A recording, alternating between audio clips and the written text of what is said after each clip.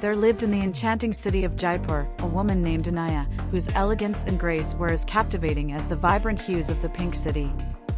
Anaya, with her flowing saris adorned with intricate embroidery, moved through life with a poise that left an indelible mark on those fortunate enough to cross her path. Her eyes, deep as the ancient palaces that surrounded her, held a warmth that spoke volumes of a love that transcended time. In the heart of Jaipur, Anaya frequented the historic Hawa Mahal, where she found solace amidst the delicate latticework and the whispers of a bygone era. It was here that she met Arjun, a kindred spirit who shared her appreciation for the city's rich history. Their love blossomed like the fragrant flowers in the Sisodia Rani garden, each moment a testament to the beauty of their connection. Anaya and Arjun's romance unfolded against the backdrop of the majestic Amber Fort, where they strolled hand in hand, lost in the echo of ancient tales.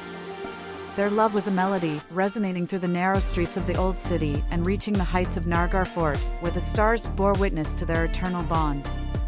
Anaya's elegance found its perfect match in Arjun's unwavering devotion, creating a love story as timeless as the palaces that stood tall around them.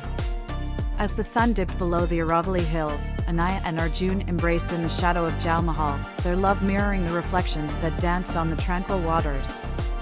In the heart of Jaipur, amid the palatial wonders, Anaya's elegance and Arjun's love intertwined, creating a tapestry of romance that would be whispered through the ages, a tale of a woman whose love was as timeless as the city she called home.